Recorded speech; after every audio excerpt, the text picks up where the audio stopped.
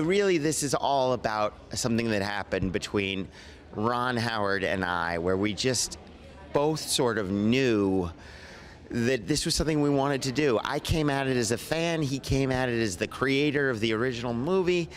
And when we met and this sort of, we recognized this in each other, that was the moment the train started rolling. And by some miracle, nothing derailed us from that day in 2017 to this day today when we're sharing the teaser with people. I think with George, always bigger, more. These stories are epics, and one movie was never going to satisfy him. And I think by the time 1989 rolled around, three movies wouldn't have been enough to satisfy him.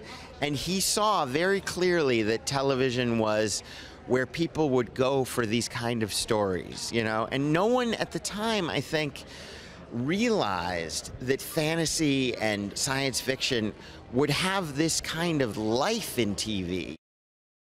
I'm very curious about what people have dissected from the various shots that are in the teaser, who they think what character might be.